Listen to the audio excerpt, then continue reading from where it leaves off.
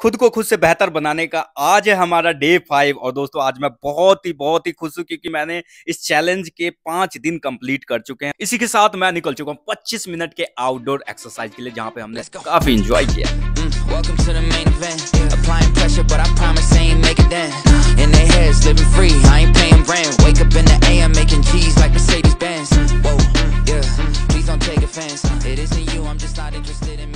Workout करने के बाद मैं निकल चुका हूँ इस चैलेंज के रूल नंबर टू को फॉलो जो कि था कंप्लीटली 108 दिनों तक ब्रह्मचर्य का पालन।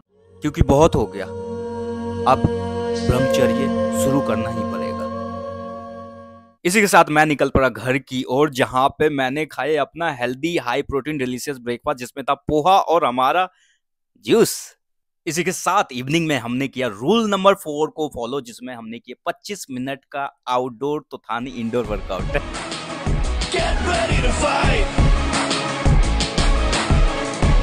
वर्कआउट करने के बाद भाई मैं काफ़ी थक चुका था, फिर मैं पिया थोड़ा सा पानी पानी के पीने के बाद मेरे को लग गया काफ़ी भूख भूख लगने के बाद मैंने खाया हाई प्रोटीन, मसालेदार खिचड़ी। खिचड़ी में दही भी था भाई, काफ़ी मज़ा आ गया, फिर मैं चला गया सीधा मेडिटेशन करने।